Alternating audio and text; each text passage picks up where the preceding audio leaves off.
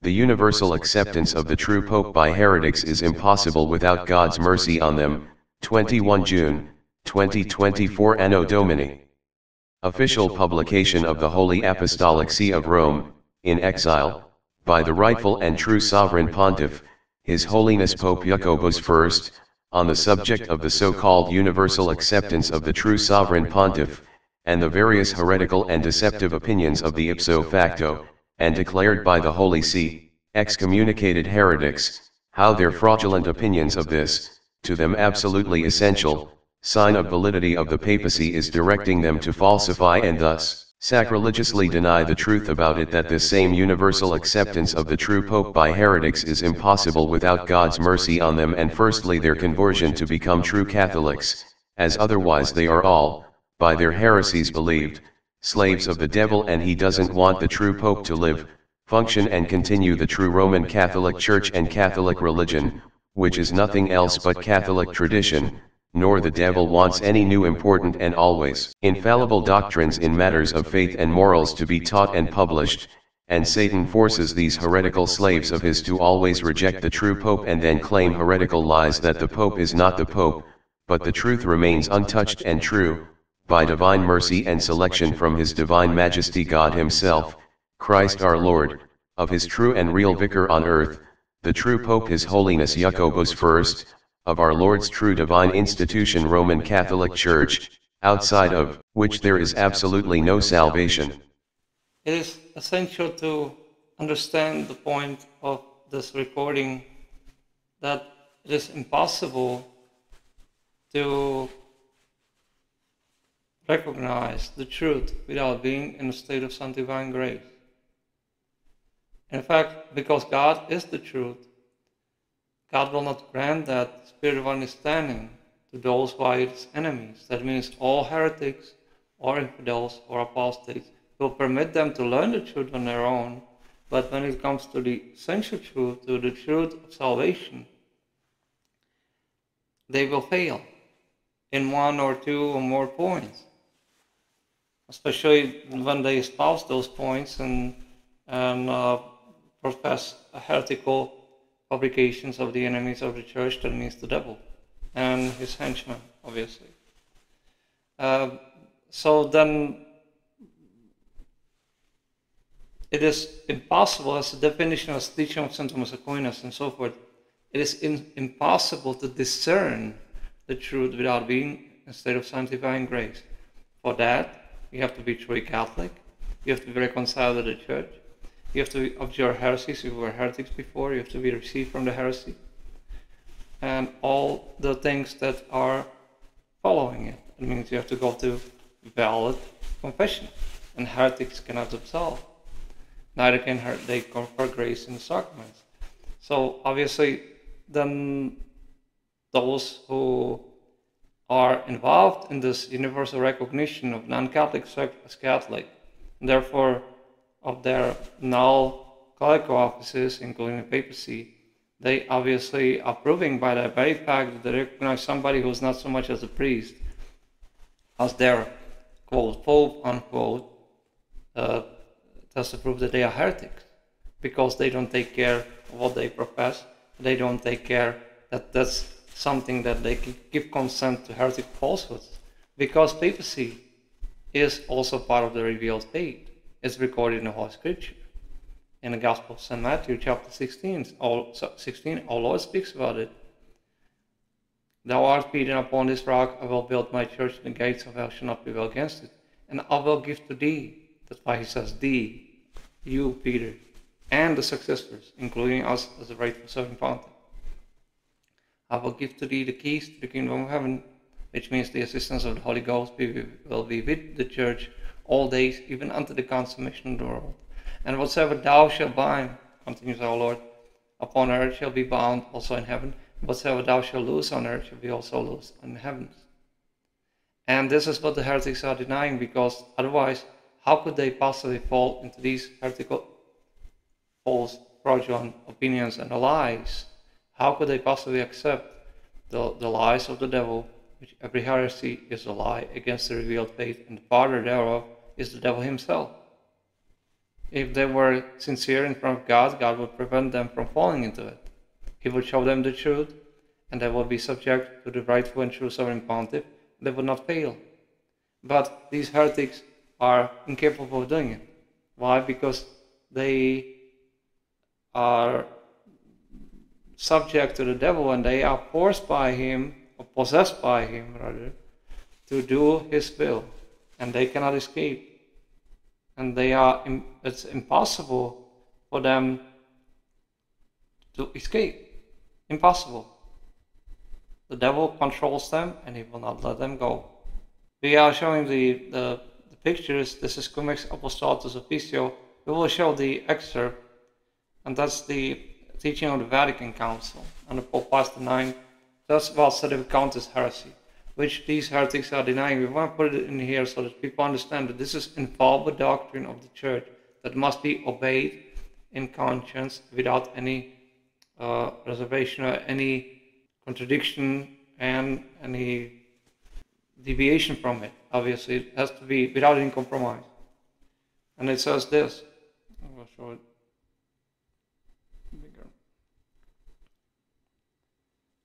It says, that's from the uh, article on the perpetuity of primacy of Blessed Peter and the Roman pontiffs. That which, that which the Prince of Shepherds and great sheep uh, and great Shepherd of the sheep, Jesus Christ our Lord, established in the person. It says in the person, not not in the office, as the Sedevacantist heretics would fraudulently uh, insinuate, but in the person of the blessed apostle Peter, to secure the perpetual welfare and lasting good of the church. To secure it, you can read the language, to secure the perpetual welfare and everlasting good of the church must, that means the person of the Pope must, by the same institution, necessarily remain unceasingly in church. That means they cannot be interacting for, for four, five decades. That negates the very, very doctrine of this. Of course, that uh, to possess the papacy is impossible for people who are heretics. We will show that in the in the, the following excerpts and so forth. Uh, for none can doubt, and it is known to all ages, that the Holy and Blessed Peter, the Prince and Chief of the Apostles, the pillar of the faith and foundation of the Catholic Church, received the keys of the kingdom of heaven, of, of the kingdom from our Lord Jesus Christ, the Savior and Redeemer of mankind, lives, presides and judges to this day, always in his successors, the bishops of the Holy See of Rome, and so forth. This is the same article, but the conclusion, the canon, if then on the bottom, if then anyone shall say that it is not by the institution of Christ the Lord, or by divine right, that Blessed Peter has a perpetual line of successors. Now, then the Sedevacantist heretics would like to define what the perpetual line of successors is. And they even went so far as to change the definition and change the language. Instead of has a perpetual line of successors, which is, which is categorical doctrine that, that cannot be substituted this is 1907 uh, translation approved by the church, so uh, from the original Latin by uh, Father Vincent McNabb. Uh, says, has a perpetual line of successors in primacy of the universal church, or that the Roman pontiff is not the successor of Blessed Peter in his primacy, let him be anathema, that means cursed, excommunicated.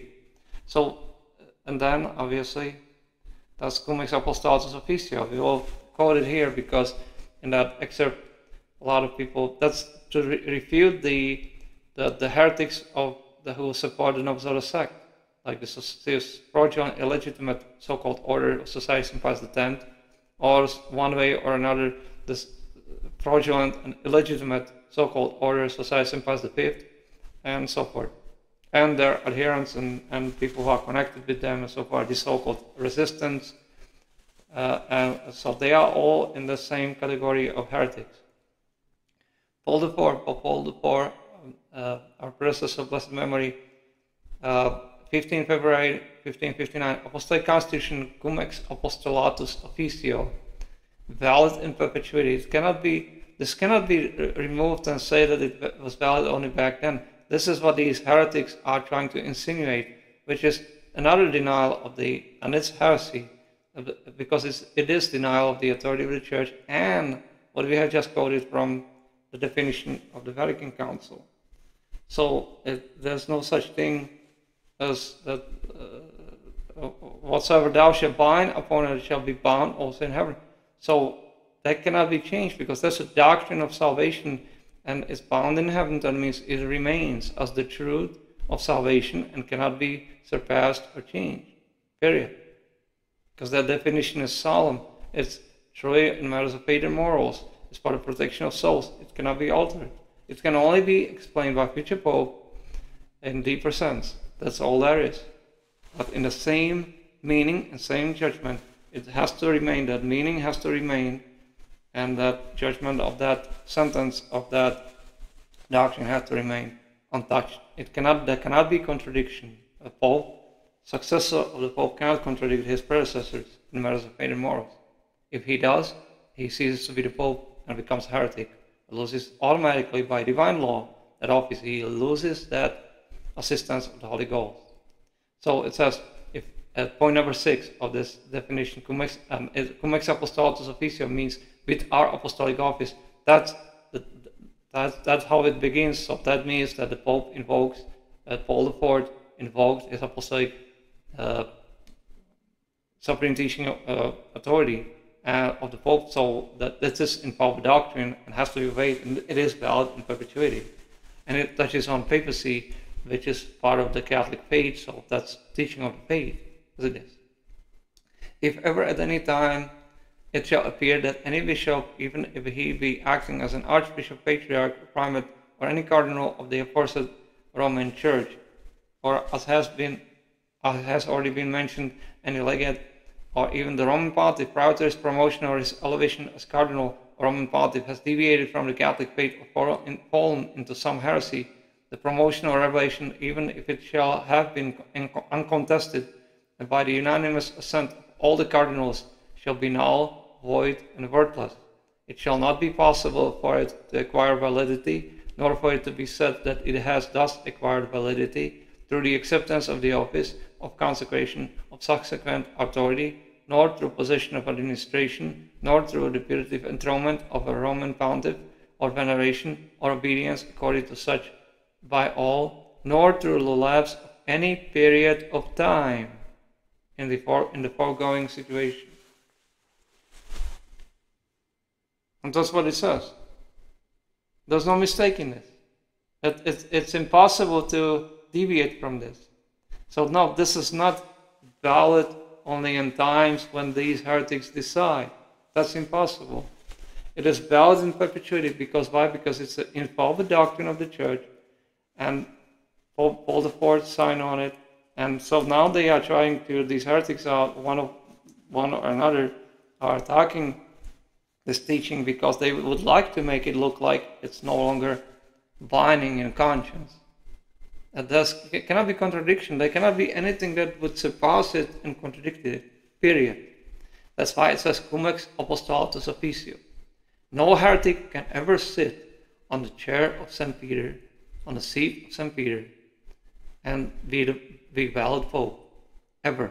If that was possible, that would be a heresy and denial of the divine promise of Christ, O Lord, that the gates of hell shall not prevail against the church.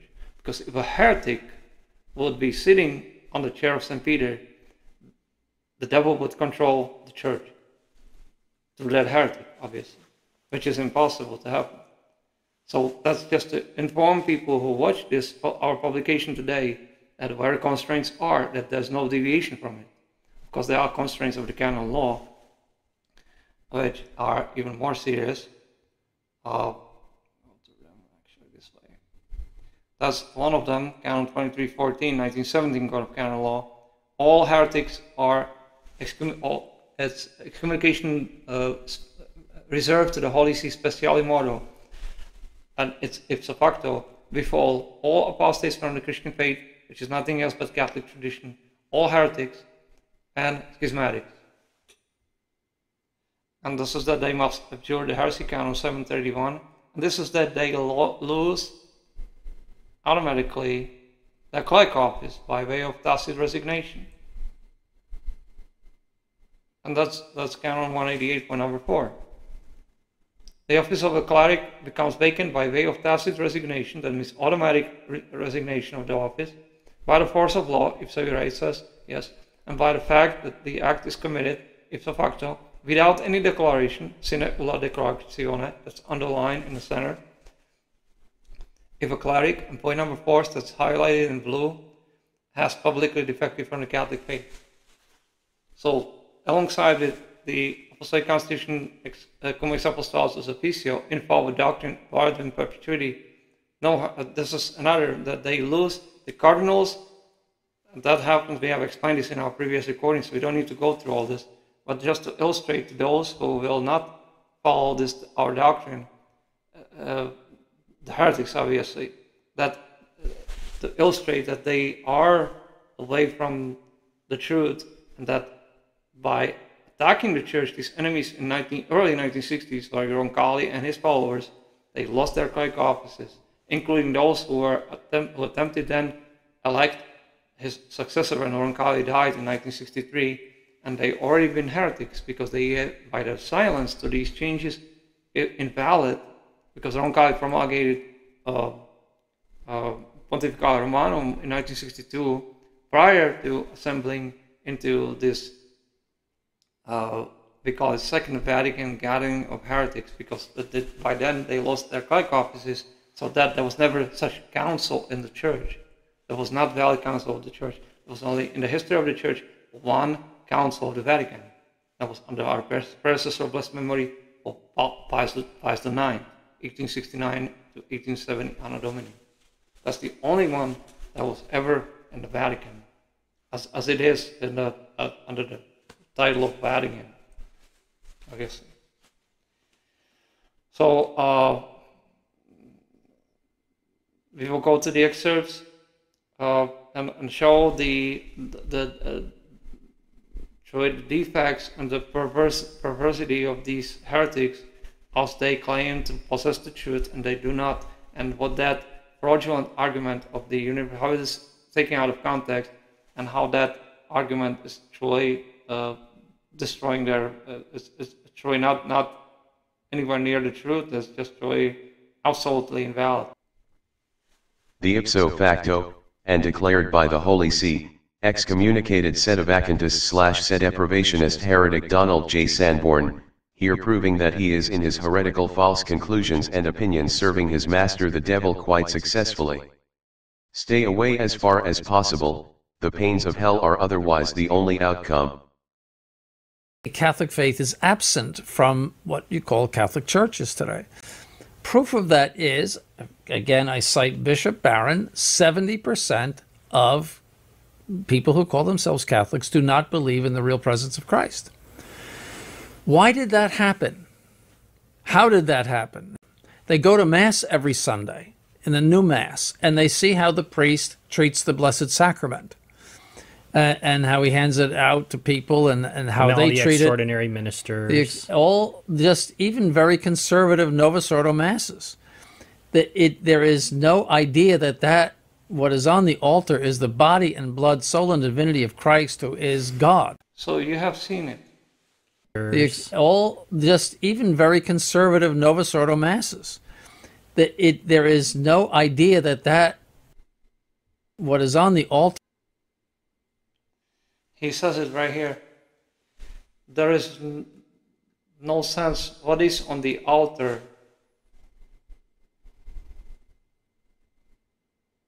Is the body and blood. So this is this is heresy, what he says. That's a, that's a, that's a horrifying heresy and abomination, blasphemy, in fact, because that's a Protestant reenactment of the Last Supper, which they have, and therefore there's no holy sacrifice of the Mass. So no, there is no such thing as body of Christ and blood of Christ on the on that table that they have that Protestant table. So this is this is horrifying abomination of this heretic, which is confirm, confirming the fact that the Holy Ghost is not with him. That true bishop of the church will never be able to say something like this. And then that's not that's not a mask. That's a mockery of God, and the person is not a priest.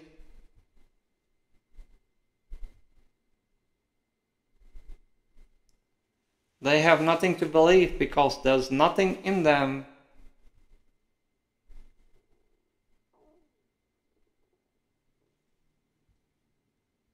nothing in them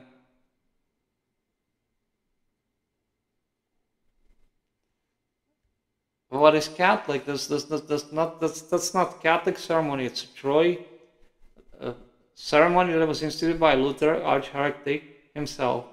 And the same word what he says, we'll let it play and, and comment on it. He calls Novus Ordo sectarian as bishop. That's, you know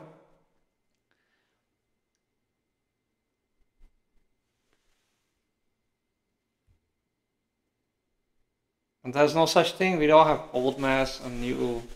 That, no, no such thing because that would imply that there is two faiths and therefore two ways of uh, that could be uh, accepted at least by them without any impunity, any any punishment from God or being become, without becoming heretics of uh, new sacrament of Holy, uh, Holy Eucharist. But that's not possible to be done. So no, this in fact is also opening the door for heresy. No such thing exists. They don't have Blessed Sacrament. They don't have, they cannot be, that term cannot be used in there. There's just a piece of bread and wine in the chalice. That's it. So, uh, this is horrifying abomination what this enemy of the church is saying. What do you call Catholic churches today? No, that's a non Catholic sect. And they don't have, that's not part of, they are by the virtue of that very fact that they are, we'll say right here and, and on his face, right there, they are excommunicated. So they cannot be called Catholic. That's the canon law that excommunicated them by virtue that they are outside the church. They are excommunicated. There's no way for them to be called Catholic. In order to be reconciled with the church, they have to observe the heresy. It says right here. It is forbidden to minister the sacraments of the church to heretics and schismatics, even though they are in good faith and ask for them, unless they have first renounced their errors and been reconciled to the church. Canon 731, 1917, Code of Canon Law. Evidently, this heretic does not follow the canon law, because how could he? He he's subject to it, and he would be called heretic. So obviously, he doesn't want that to happen to be called heretic, but he is heretic. We have declared him heretic. He's excommunicated and named Vitandus. That means the higher degree. No one is allowed to communicate with such people.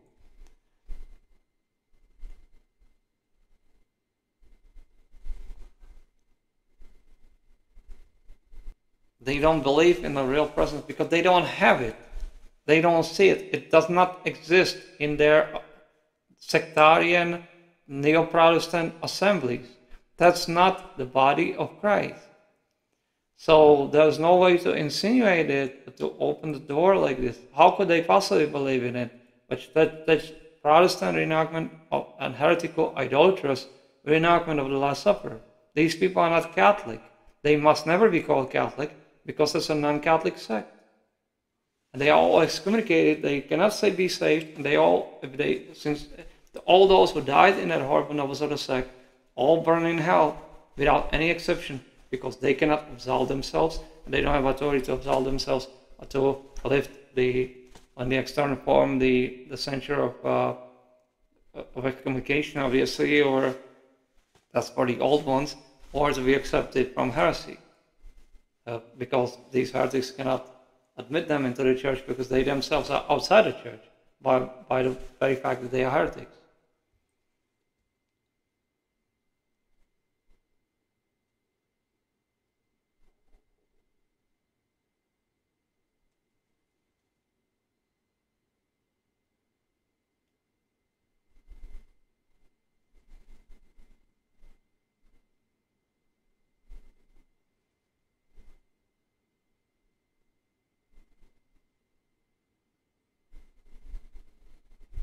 He says, he said it right here. There's no idea that what is on the altar is, and then he says this. Which means that he's he's actually saying it explicitly. this horrifying enemy of the church. He's saying explicitly. That's why we used it in, in this in this excerpt. We are waiting for that.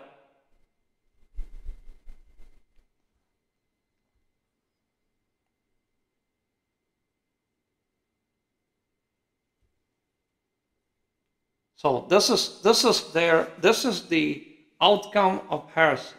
What this heretic is saying. This is horrifying abomination. It's full, so full. That's why that inscription above us is there for this heretic to be visible.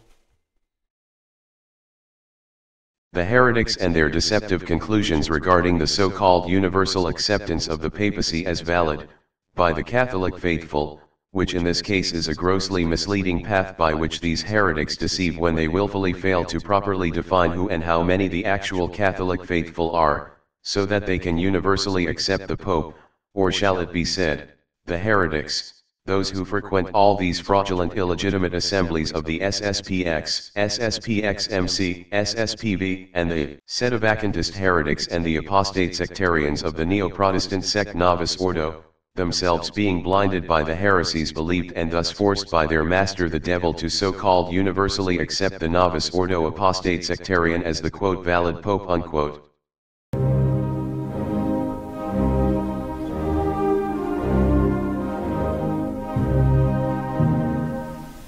In the second part of the response, Messrs. Salza and Siscoe attempt to refute the sedevacantist argument that, due to public heresy, the Vatican II popes could not have been true popes in the first place.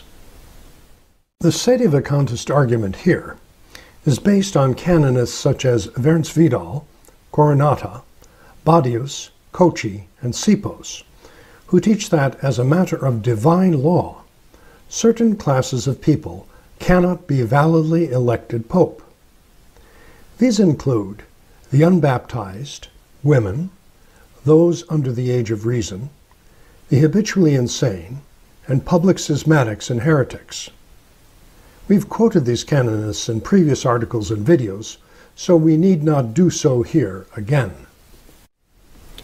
In their latest article, Messrs. Salza and Siscoe do not even attempt to address the specific principles these canonists lay down. To address this, he's quoting of the uh, of the book of these laymen who are tied or were tied, it used to be tied with the Society St. Pius X heretics.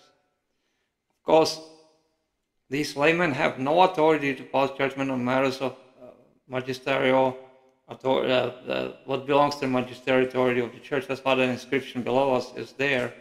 He's not saying that. He's giving them open door. Instead of saying they publish this book and it's not permitted for laymen to make these kind of to publish some these kind of books.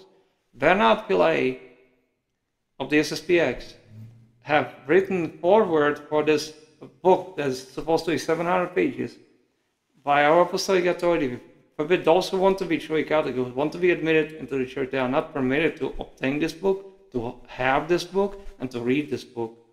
Because it will violate the constraints of the canon law. These are heretics. It's canon 2322, or 2318, rather. Uh, we've shown this before. It's right here. It's in the center. Publishers of books uh, written by apostates, heretics, and, and schismatics, and so forth, and, and, and so forth. You can you can see it. So oh well, leave that leave that in there. So then, uh, it is impossible for people to obtain this book without committing mortal sin of heresy, because that's denial. That would be denial of the authority of the church. Laymen cannot write things without the supervision of the church, and moreover on matters that belong to the decision of the magisterial decision of the church in matters of papacy, whether one person is valid pope or not, they cannot pass judgment on it. They are not permitted to do so. That belongs to the authority of the church. And of course, if they recognize non-Catholic sect as Catholic and grant them the authority, then they are outside the church as heretics. So then Catholic faith will not permit it. Those who are truly Catholic. very few today. Uh, are not permitted to obtain this book, to read this book, to read any part of it, to even engage in any kind of examination of this book without due permission of the Holy See, which they they will never, ha- never have, because this book contains so many heresies that it's impossible for us to even go through it. And why should we? Because it addresses things, a, a, a, matter of doctrine that is already defined by the church to begin with. So, uh, and by divine law and constraints of the faith and canon law and so forth. So there's no need for us. We have just explained this in the beginning of our recording today, our publication. So there's no need. What he says, this heretic Cekada, in this is that he's not is what is essential is that he's omitting to explain this point we have just explained. That not only that it's not permissible to, to obtain this book, to read this book, which is forbidden by this very canon here, but uh, under the pain of excommunication, especially reserved to the Holy See, to our judgment as it is, as a right so important. But also, it is not permitted for a layman, even if they, if even if these two people that, that wrote this book were in in uh, good standing with the church, they would still not be permitted to write something like this because that belongs to decide to write to teach to the Holy See and or to those who are authorized. That means the clerical state of the church, the true priests and bishops and so forth. It has to be approved by the church uh, for publication. Be imprimatur and nihil obstat in the book, so that it was approved that that, that does not contain heretical errors, which is all of the church that remains. So it cannot be done without that. Of course, uh, what this Cekada is saying. He goes, he goes back and forth. and He, he permits them to pass judgment on these matters without explaining that they are not even permitted to do this. That this is not permitted for laymen to write something like this or to try to refute somebody who claims to be a priest. That's to prove that he does not value his, which he doesn't have. That's to prove that he himself is outside the church and does not possess the kaikos title nor dignity of the priesthood. We have demonstrated that in our previous recordings why is it so? Because where he was, what they were using for for uh, at, at SSPX, where he was so-called ordained in 1970s by heretic already Archbishop Marcel Lefebvre.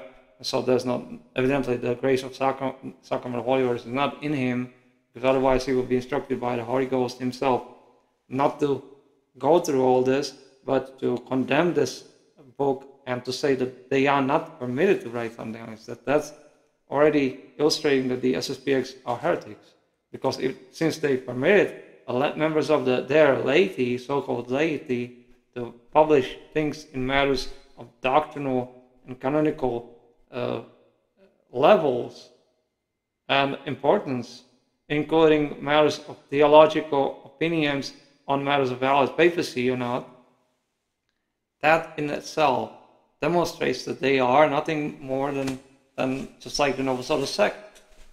Might as well start going to Bible studies as the Protestants, and then we will demonstrate exactly what, what this is. Because this amounts to that in a principle as it is, which that's not Catholic, obviously, and they are outside the church.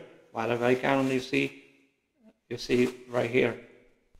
Pacific recognition, they claim, establishes the papacy of a Vatican II pope as a dogmatic fact and it is therefore infallibly certain that the person chosen is the Pope.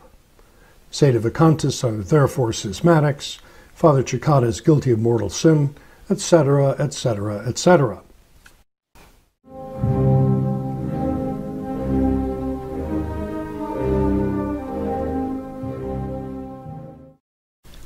Second, to support their contention that a public heretic can be validly elected a true pope, thanks to universal peaceful recognition by the entire Church, Messrs. Siscoe quote large chunks from the writings of the Dominican theologian John of St. Thomas. But appealing to John of St. Thomas on universal peaceful recognition to validate the election of a heretic as Pope is the one thing that Messrs. Salza and Siscoe cannot do. So, why is it so? Because not only because of this, we have already read what it means in that, uh, the Cum Apostolatus Officio, but uh, he's saying cannot do because of the, they, they don't have authority to do any of this, period. Because they are members of the laity, they don't belong with the church, they are heretics. It's like Protestants assembled and started writing about matters of the Catholic Church, Catholic Church magisterium. That's, that's exactly what it is. He's not even saying that, that they cannot be addressing uh, teaching of a theologian who would, if he contradicted teaching of the Pope, infallible doctrine of the Pope, that he himself would cease to be theologian, he would be excommunicated heretic. Even at that time, and that was always like this. Man who is a heretic, says St. Paul, after the first or second admonition, avoid. And he's condemned by his own uh, doctrine and so forth. So we'll let it play a little, a little more because uh, it, it's very important that uh, this is understood correctly. What he says next. Law in force at the time he was writing, cum ex apostolatus officio of Paul IV, rendered such an election invalid, even with the unanimous consent of the cardinals and the obedience accorded the heretic pope by all. While traditionalists may dispute whether or not cum ex apostolatus still applies now, there is no question that it was in force when John of St. Thomas was writing. So, this is essential proof, and you can read it, but we will explain again. This is essential proof that this Sedevacantist heretic, Anthony Cekada, who's paying for his heresies in hell because he already died, and they cannot absolve themselves, heretics cannot absolve. Uh, we have shown that before. Let's, let's go there. Uh, that's important because we don't want to deprive them on the benefit of uh, the truth, obviously. So uh, we have somewhere here. That's teaching of St. Thomas Aquinas. That's right here. The effect of absolution is nothing, nothing else but the forgiveness of sins which results from grace. And consequently, that's in the yellow in the center. Consequently, a heretic cannot absolve, as neither can he confer grace in the sacraments. And by the very fact you communicate in the sacraments with the heretic, with God offering the church, you sin and you cannot obtain grace in a sacrament. So, for the purpose of legitimizing a heretical pope, his comments on universal recognition must be treated as moot. To further advance their contention that the Vatican II popes were true popes because of universal pacific recognition by the whole Church, Messrs. Salza and Siscoe quote the eminent 20th century theologian Louis Cardinal Billot. The adherence of the universal church, says Billot, would be, always and by itself, an infallible sign of the legitimacy of the person of the pontiff. Otherwise, he explains, the gates of hell would prevail, and the promise of Christ to be with his church all days would not be fulfilled. So they are taking it out of context, obviously. Because not only that these sort of conscious heretics are heretics because of that, what we have demonstrated in the first place in the beginning of this our publication today, but then these who recognize non-Catholic sect, they don't take into context the fact that they have to first, in order to have that ability, they have to have the guidance of the Holy Ghost in them. That means God has to guide them to make the proper discernment of the truth.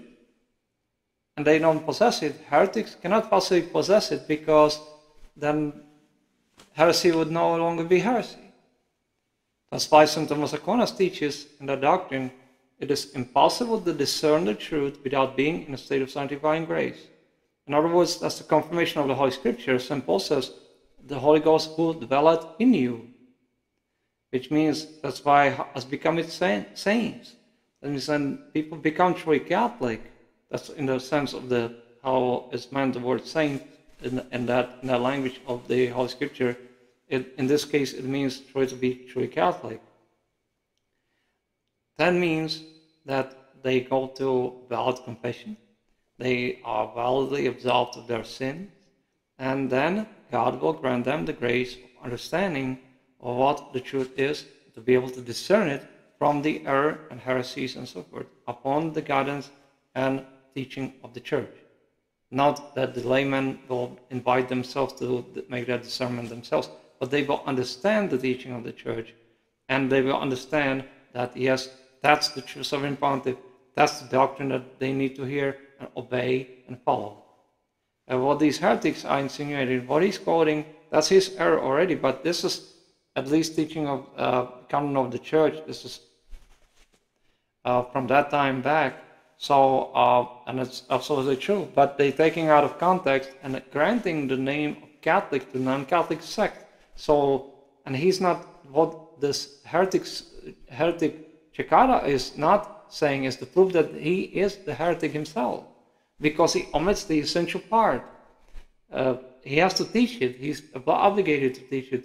That evidently those who do not belong with the church, who do not practice the Catholic faith, do not they cannot assemble and start having this universal recognition.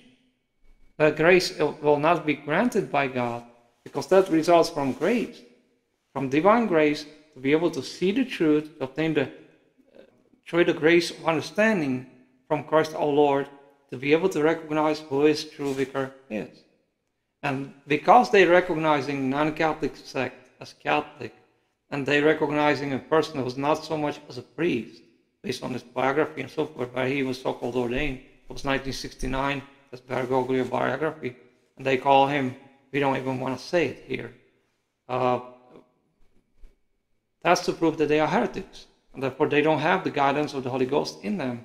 Holy Ghost does not dwell in their souls. They recognizing non-Catholic sect as horrifying abomination and heresy. They recognizing non-Catholic sect as in possession of the authority of the church. That's not possible for, for members of the church to do, for true Catholics. Because we don't have two Catholic faiths in the, in the, in the church.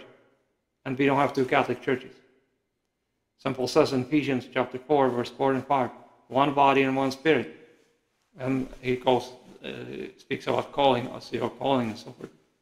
Then he says, one Lord, one faith, one baptism. So there's no, there's just one faith, that's Catholic tradition, and one church teaching, and that's Catholic Church, divine institution. Of course, the promise of the assistance of the Holy Ghost is not granted to heretics to teach the truth. They will never teach the truth. There will always be the heresy which they espouse, and that is doctrine of the devils.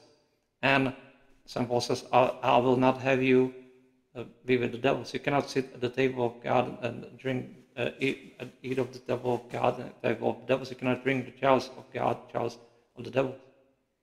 So it's, it's self-evident that when they attempt to recognize non-Catholic faith as Catholic, they commit mortal sin of heresy, they are outside of the church, and obviously they cannot and do not possess this universal recognition, grace of God that will otherwise lead them to recognize the truth and follow it. And it's another record, uh, it's recorded in another place in, in the Holy Scripture.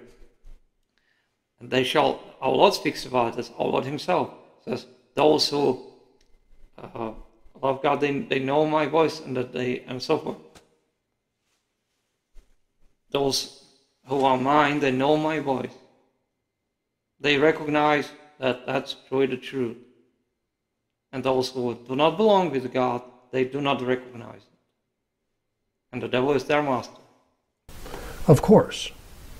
But when you put Billot's reasons as to why this is so, beside the reality of how all traditionalists actually treated Paul VI and his successors, you not only defeat the Salza Siscoe SSPX argument against sedevacantism, this is so because Bio teaches that the whole church must necessarily, one, adhere to a true pope as the living rule of faith, and two, obey him.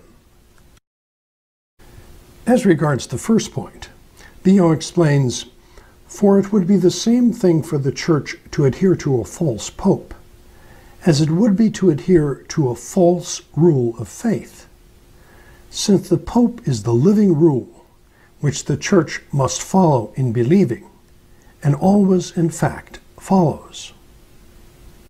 Conversely, it follows that if the Church rejects a putative pope as the living rule of faith, it is likewise necessarily rejecting him as a true Roman pontiff. since his legitimacy and his status as the living rule of faith are two things which are essentially bound together. You can't have one without the other. It is evident that yes, the set of accounts have valid arguments, but this is not the essence of the truth as it is. Why is it so? The essence is who these people are, what they profess, and the sacraments, including, most of all, the Protestant heretical reenactment of the Last Supper, which is not the Mass. They don't honor God, they, they mock Him, and they actually neo Protestant, pro communist, non Catholic sect, and also recognize the horrible sect of Satan as Catholic. They are guilty of sacrilege and excommunicated, and we have excommunicated them by our apostolic uh, by our papal bull on that subject of excommunication in May uh, uh, 2021, Anno Domini. So we don't have to go too far. It's actually uh, addressed by the church already. So they are named as Vitandus, these heretics. And uh, those who died in such a state of their soul, they, they, they pay for it forever in hell, including this Cekada. And uh, evidently they don't fear God's punishment because otherwise they would not be teaching these horrible things, they would reject them. But it's for us, as the rightful sovereign pontiff, it's an honor not to be recognized by heretics. We would actually fear something's wrong if heretics are not reconciled with the church or don't seek to be reconciled with the church, are not recognizing us, are, are recognizing us. Because then we would fear that something is wrong, and but that cannot possibly happen. God will not grant them the grace. And if they do recognize us, is probably only for deception, the enemies of the church to seek personal information and uh, for purpose of uh, trying to destroy the church, serving the devil, which has happened before. We have just had recently a case of spying involvement of uh, one of these heretics.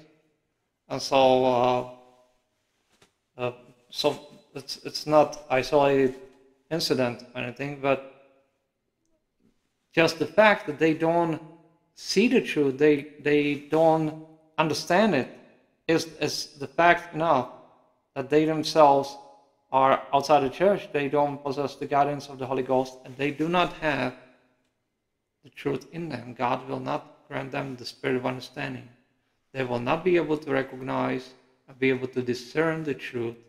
Therefore, they recognizing none, they are capable of recognizing that's the devil himself in them, forcing them into these horrifying states of their soul and leading them to their, their utter ruin. Which is horrifying for us a very sad thing to watch, but uh, unless they reject uh, what they believe, those heresies that they believe and espouse, and unless they will seek actively to be reconciled with the church or to become for the first time in their lives Catholics uh, upon the abjuration of heresies and being addressing the Holy See, addressing us for our consideration, and obviously to be present what their case really is in, in matters of what they believe, whom they belong to, and so forth, what they were professing. All these things have to be mentioned and that's not some over the internet thing. They have to be actively helping the church in order for us to continue our divine mission, divinely granted mission, uh, given mission, uh, salvation of souls. So we have such, we have had such instances of people who thought that they would just obtain sacraments and that they will not lift a finger to help the church to continue. And right now we are being persecuted as it is by the devil and his henchmen, by these heretics because they lure into their assemblies people who would otherwise be Catholic. And God is not converting them because they are not willing to abjure that heresy, to give it up, to leave that fraudulent, uh, horrifying uh, opinions that, that actually pernicious and that they don't lead anywhere else but the hell. And uh, then there's no, no, no, no possibility of, of reconciling them. So to conclude this, our publication today, uh, we would like to admonish those who still somewhat are sincere or seek the truth yet have not yet obtained it and attained to. That, that they will see by the very teaching of this Holy See, by what we publish, what He directs, our sermons, and all this, the guidance that God grants us. Otherwise, that we would not be able to publish these things to expose the heretics, to have the clarity of understanding in us. But that the Holy Ghost is leading us to it, and that truly God is with His church. That it's our doctrine that we Uh, command to be practiced and profess not because it comes from our person, but because that doctrine comes by the assistance of God Himself to us, who has promised to be with His church all days, even unto the consummation of the world. Therefore, not that we would seek to be eloquent or any other, but for the good of the souls and for conversion as their salvation, that we worry that such souls will perish if they continue, uh, and obviously that will be the, the outcome if they continue in their heresies. We're trying to help them for the love of our Lord and for uh, their salvation out of charity. But those who will not hear our voice, they will have to answer to God. Those who do not wish to learn from these our publications, that, that what we have published on the subject of these heretics, that all of it is true, and that all is based on the law of the church and doctrine, the false doctrine of the church, and that cannot be set aside or negated or compromised on or denied and also attempt to do so to deny it or negate it or mock us and, and other such like things, as happens quite often and so forth. They will have to answer to God. We don't want them to be punished. We want them to convert to men to be true Catholic. Again, for the, to fulfill our obligation and duty of our office, our apostolic office, as the right and true Roman Pontiff of the Roman Catholic Church and that we have non-Catholic sect occupying the Vatican with communist connections left and right and so forth. That's self-evident truth for several decades now. And uh, so those who recognize this horrible sect of Satan as Catholic, they will pay to God for it in hell if they die in such a state of their soul. That should suffice today. This dogma divinely revealed outside the Roman Catholic Church, the true Catholic Church, which is today represented solely and only by His Holy Apostolic See of Rome in exile outside the same church, this universal Roman Catholic Church. And without practice of the Catholic faith, which is nothing else but Catholic tradition, there's absolutely no salvation. All heretics, infidels, or apostates, or enemies of the church, like the communist, socialist, atheists, and so forth, all will burn in hell, do burn in hell, they die such a state of their soul. The divine reckoning is near, the divine punishment. And also neglect of those who will not hear our voice and obey us in this, and to strive to convert and strip themselves of that yoke of Satan, they will have to answer to God for it, for their neglect, or for their denial, for a refusal, this obstinate refusal to be Catholic. And it is not possible to be Catholic with heretics. It is not possible to be Catholic within the bosom of this horrifying non-Catholic apostate sect called Novus Ordo. Sect Satan that Satan installed and is run by people who are all, without any exception, on the way to hell.